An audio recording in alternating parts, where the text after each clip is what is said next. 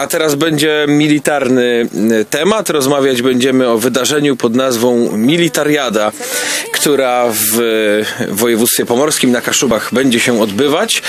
Militariada, czyli spacerem przez historię. W naszym studiu w związku z tym gość, pan Wojciech Waśkowski, szef sztabu Militariady. Dzień dobry.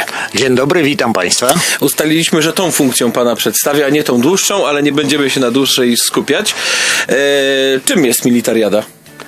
Militariada to nic innego jak e, poznawanie, odkrywanie nieznanej turystom historii. A jaka to historia tutaj na Pomorzu czeka na turystów? Na Wiemy, Pomorzu, może niektórzy nie wiedzą. Na Pomorzu to przede wszystkim II wojna światowa. E, jak e, myślę zapewne większość słuchaczy wie, w okresie II Rzeczypospolitej mieliśmy niewielki skrawek dostępu do morza. Linia brzegowa liczyła nieco ponad 150 kilometrów, była liczona wokół Półwyspu Helskiego. I na tym niewielkim skrawku e, polskiej ziemi z dostępem do morza rozgrywały się krwawe walki w okresie września 1939 roku. O tym chcemy mówić, to chcemy pokazywać. I w związku z tym pewnie wiele obiektów militarnych pozostało. Jakie to są obiekty? No, w samej gminie Hel jest prawie 200 obiektów militarnych z okresu II Rzeczypospolitej, czasu wojny i okresu zimnowojennego, a tych obiektów y, na terenie powiatu puckiego mamy około 300.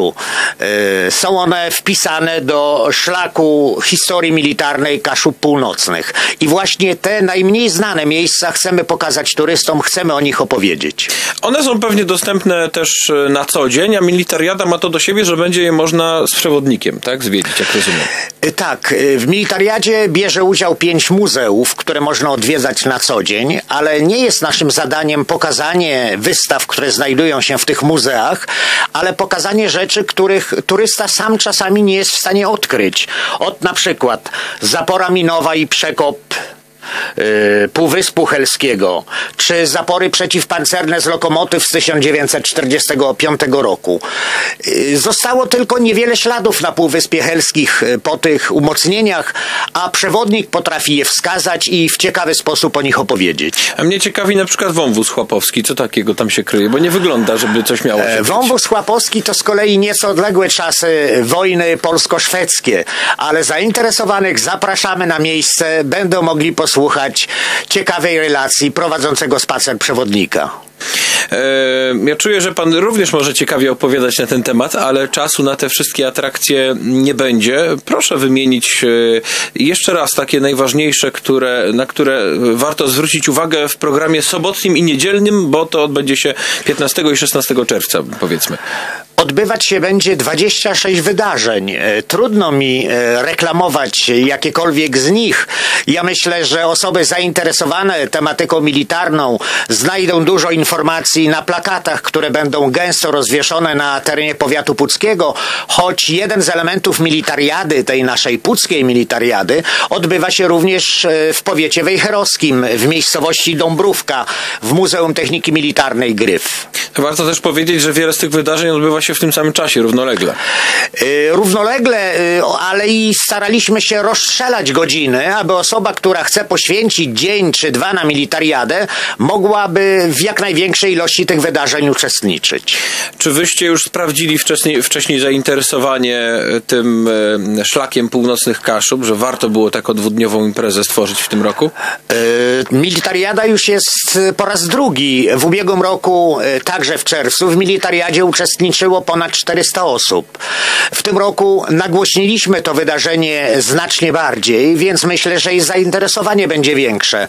A ponieważ jestem muzealnikiem na co dzień i mam kontakt z turystami, którzy licznie odwiedzają nasze Muzeum Helskie, to wiem, iż zainteresowanie szlakiem militarnym Kaszub Północnych jest ogromne. Turyści często pytają, proszą o przewodniki, mapy, starają się właśnie dotrzeć do tych miejsc i odkryć jak gdyby na nowo. Wspierają Was e, samorządy, w tym to miasta, gminy północy, także samorząd województwa pomorskiego?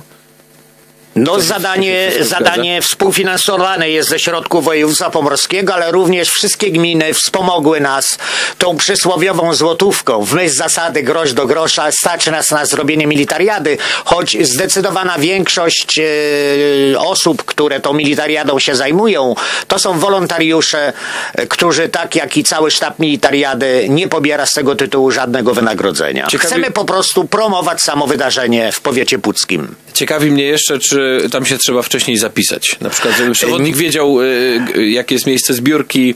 Nie ma takiej szukać. potrzeby. Na plakatach jest informacja, gdzie jest zbiórka i o której. Przewodnik będzie oznakowany wyraźną chorągiewką z napisem Militariada. Zbiera grupę, po czym rozpoczyna spacer. Życzę miłych wrażeń. Czyli wszystko, co ze sobą należy wziąć, to być może ze względu na ładną, upalną pogodę, coś do picia i jedzenia ewentualnie. No na pewno coś do picia i jedzenia, ale warto by także wziąć jakąś latarkę, bo czekają pewnie także niespodzianki na trasie, gdzie latarka będzie niezwykle pomocna. To może jakieś obuwie specjalne też, w razie No, w szpilkach nie wybieramy się na spacer. Spacery trwają około godziny do trzech, więc wygodne obuwie jest jak najbardziej wskazane. Nie zgubimy się. Na pewno nie, przewodnik na to nie pozwoli. Poza tym powiat pucki jest mały, w którym kierunku się nie pójdzie, zawsze trafi się na morze albo sąsiednie powiaty.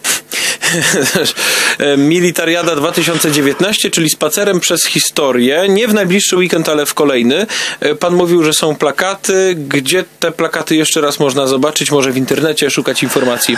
Na pewno informacje są już na stronach internetowych miast i gmin powiatu puckiego oraz Wejherowa, natomiast plakaty będą rozwieszane od poniedziałku we wszystkich miejscowościach, w których odbywa się militariada. Plakatów nam nie zabraknie. Oby nie zabrakło turystów i oby była pogoda. Mm, Tak, to najważniejsze. Pan Wojciech Waśkowski, szef sztabu militariady razem z nami w studio. Dziękuję za tę wizytę i rozmowę. Dziękuję i zapraszam.